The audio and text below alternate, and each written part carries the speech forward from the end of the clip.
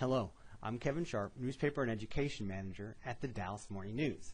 And this is 30 days worth of newspapers just from the last month.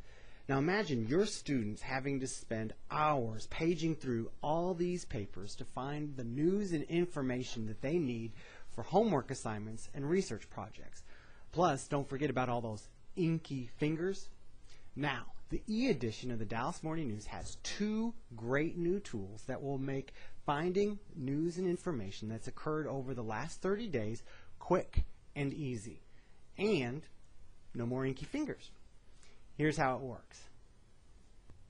Okay, first let me show you how you can access the last 30 e-editions of the Dallas Morning News. Just go to the navigation bar and click on the Back Issues button. And in just a few moments, front pages from the last 30 days will come up. And that includes weekend editions also. Look for the e-edition that you want and click on the front page and there it is. Now, let me show you how the search function works. Back up at the navigation bar, click on the search button, and you can type in the term or the issue that you want to look for. You can narrow and expand your search by identifying whether or not you just want to look through articles that have occurred in this issue or all issues from the last 30 days. And you can also alter your search by narrowing it or including just articles, ads, pictures, or even all content. Once you've determined where you the parameters of your search, click on the uh, search button and in just a few moments articles that are covering the terms of your search will pop up. Now you can go ahead and find a story that you might find relevant and you can either do one of two things.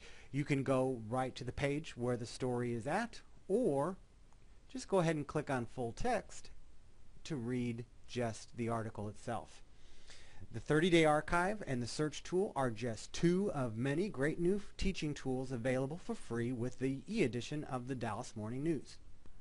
So, if you haven't done so already, be sure to register for free online access at nie.dallasnews.com.